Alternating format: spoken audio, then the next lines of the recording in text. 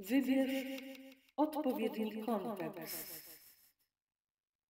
W kawiarni, w restauracji, w klubie, w galerii handlowej, w klubie bilardowym, w lustrzanym labiryncie, w ninja jam,